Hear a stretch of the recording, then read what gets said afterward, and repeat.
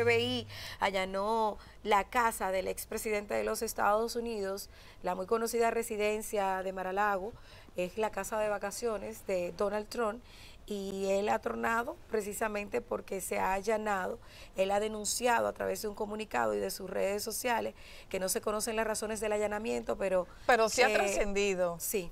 Sí, lo que ha trascendido es que el FBI, que las autoridades, las actuales autoridades sospechan que documentos muy sensibles de la presidencia de Trump han sido llevados a, su residencia veraniega allá en la Florida. Wow. ¿Aprendió con Jean Alain?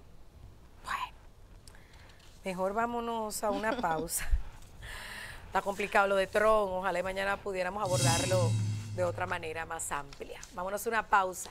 Al regreso tenemos la entrevista central del día de hoy. Atención jóvenes, porque hoy vamos a hablar de las posibilidades de ustedes trabajar en el censo.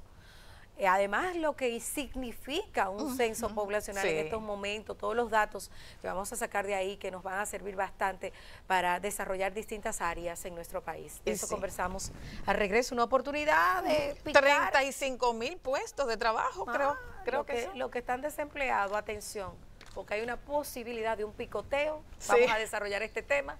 Con Miosotti Rivas. Así es. ¿Cuánto ganarán las